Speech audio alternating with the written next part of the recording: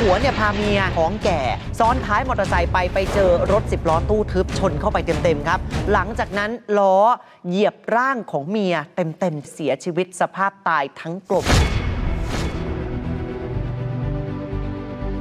เป็นนาทีชีวิตที่ไฟแลบเลยเหรอ กล้องวงจรปิดเนี่ยบันทึกเอาไว้ได้ พอชนปุ๊บก็เหยียบซ้ำแล้วมันก็ลากถลายไปกับพื้นถนนไง ดูตอนดุ้งดี เออเนี่ยแหละครับคุณผู้ชมเสียชีวิตบริเวณสี่แยกลุงอุ้ยอำเภอปลวกแดงของจังหวัดระยองนะครับ ตอนนั้นน่ะเป็นสัญญาณไฟเขียวรถก็วิ่งผ่านจุดนี้ไปเรื่อย ๆ จนกระทั่งเป็นสัญญาณไฟเหลือง รถ แทนที่จะหยุดหรือว่าเตรียมหยุดไม่นะครับ ขับผ่านกันอยู่ไม่มีทีท่าว่าจะจอดเลยจนนาทีสุดท้าย เป็นสัญญาณไฟแดงก็จะสังเกตเห็นรถ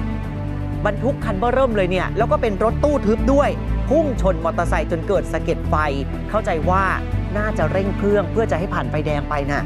แล้วก็ชนท้ายนะครับ รถมอเตอร์ไซคันที่อยู่ข้างหน้า ซึ่งมีผู้หญิงท้อง 7 เดือนท้องแก่เลย ร่างมุดเข้าไปใต้ท้องรถถูกล้อ เหยียบร่าง นอนเสียชีวิตสภาพตายทั้งกลมครับ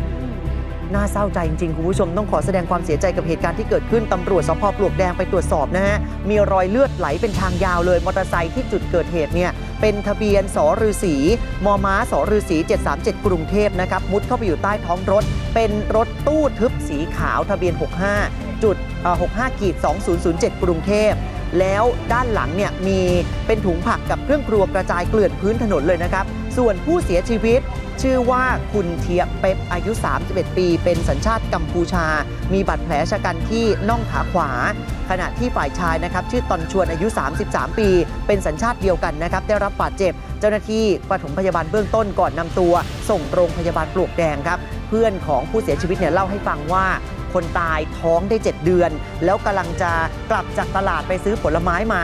มาทำกับข้าวกินกันที่บ้านพอมาถึงจุดเกิดเหตุยังไม่ทันจะถึงบ้านโดนรถสิบล้อพุ่งชนท้ายแล้วก็เหยียบซ้ำจนเสียชีวิตเลย ขณะที่คนขับรถนะครับ ชื่อวีรนิตอายุ 51 ปี ก็เล่าให้ฟังบอกว่าตอนเกิดเหตุเนี่ย เป็นสัญญาณไฟส้มก็เลยรีบ เร่งเครื่องจะขับผ่านไปใจแหละพี่บอลเตือนตลอดเลยนะ จริง ๆ เนี่ยมันเป็นหลักสากลเลยคุณผู้ชม ไฟสีส้ม หรือว่าไฟสีเหลืองเนี่ยมันเตรียมหยุดนะฮะไม่ใช่เตรียมเร่งให้ผ่านผ่านๆไป